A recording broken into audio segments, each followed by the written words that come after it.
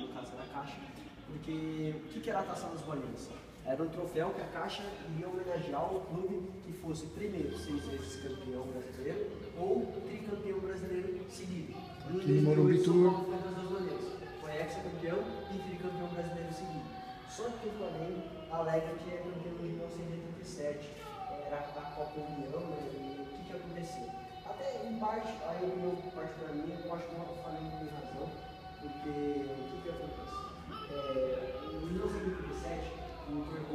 Campeonato Brasileiro era, era, era a Série A e a Série B. E o Flamengo foi campeão da Série A,